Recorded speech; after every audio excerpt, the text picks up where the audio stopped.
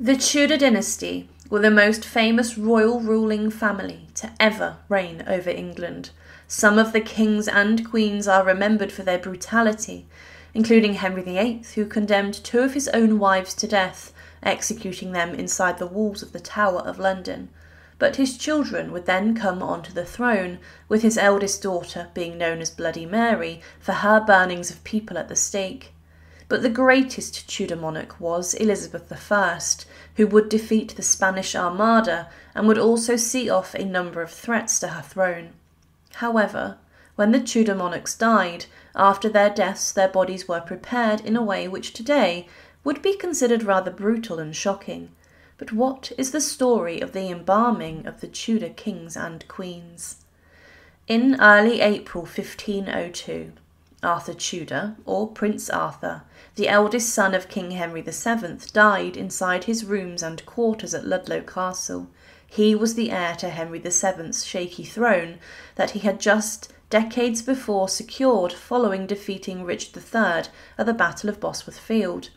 Arthur, it was hoped, would have many children and heirs that would secure the Tudor dynasty for centuries, but inside the walls of the castle this hope would sadly be diminished. He had been ill from the sweating sickness following his marriage to Catherine of Aragon, and as he was taken ill, the wind and rain smashed down on the cold castle, and the servants gathered inside of the chapel to pray for his recovery.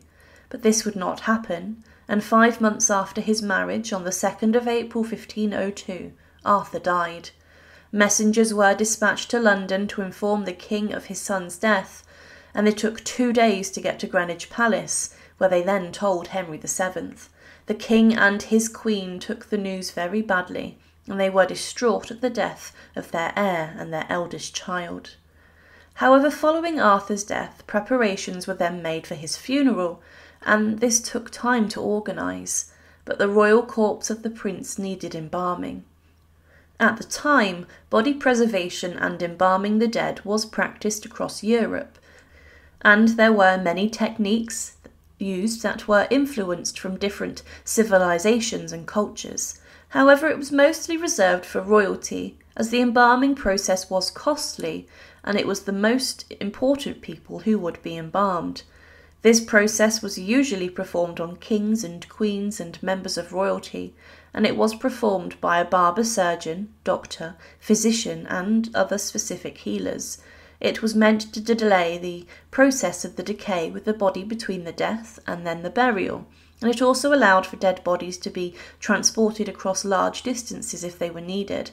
Embalming also allowed the remains to be placed on display and shown for some time in front of the subjects before they were buried too. The process during the Tudor period involved washing and eviscerating the body, and the body would be cut a number of times. It would then be slooshed out and cleaned with a number of disinfecting fluids, and then the cavities were stuffed with aromatic herbs and spices, including thyme and lavender. The body was then prepared following this, with the bowels and entrails being cut and removed.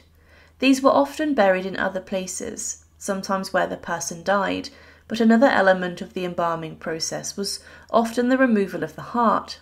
Henry VIII's wife, Jane Seymour, would have her heart buried inside of Hampton Court Palace, under the altar where she died.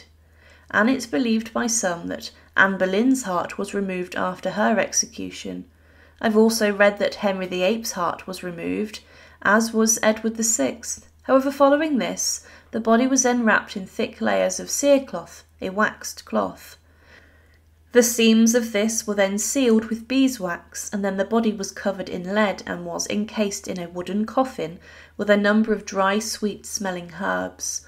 Also, balms and ointments were used to help dry out the corpse. But Arthur's corpse was allegedly disemboweled and was then well embalmed.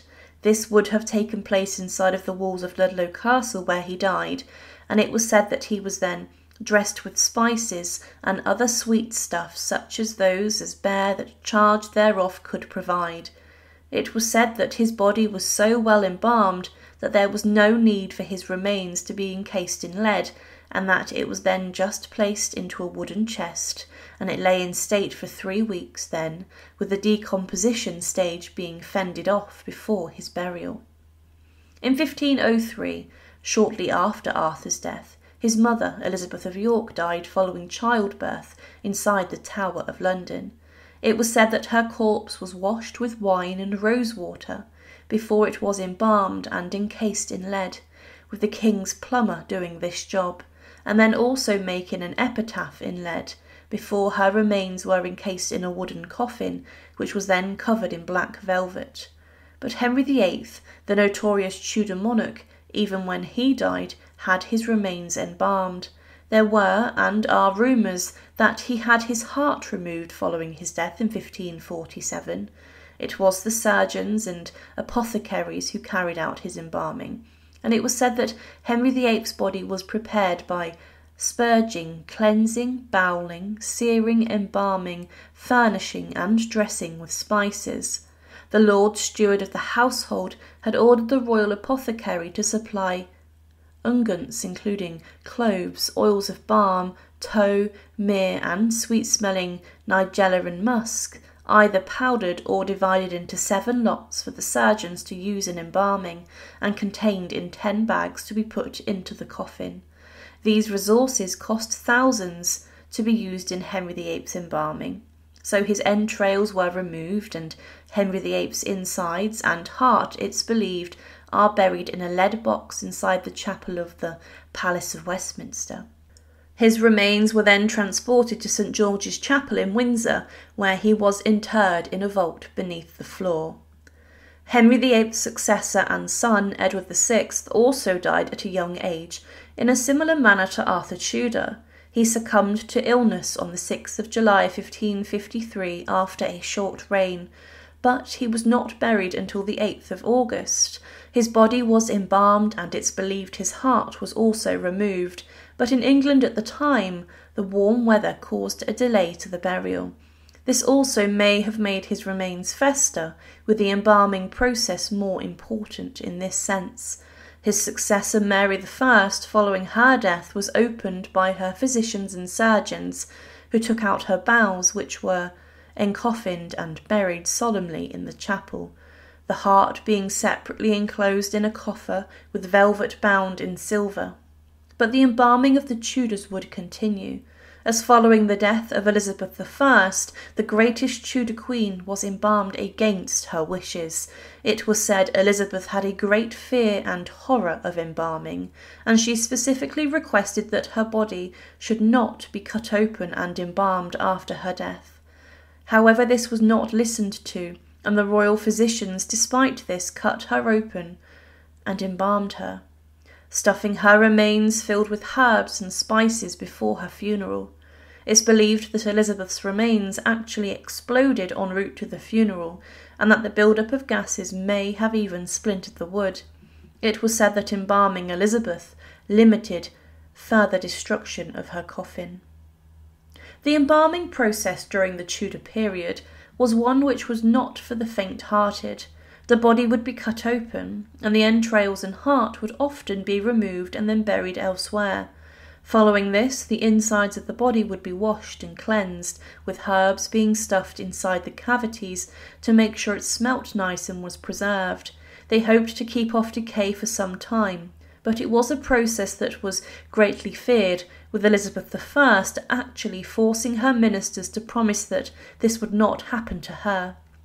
But they, following the death of Elizabeth, did not abide by the dying queen's wishes. It was a process which was shocking, and was an interesting thing to see how the Tudors dealt with the afterlife of their kings and queens. Thank you for watching, and to support, please subscribe to Her Remarkable History. Thank you.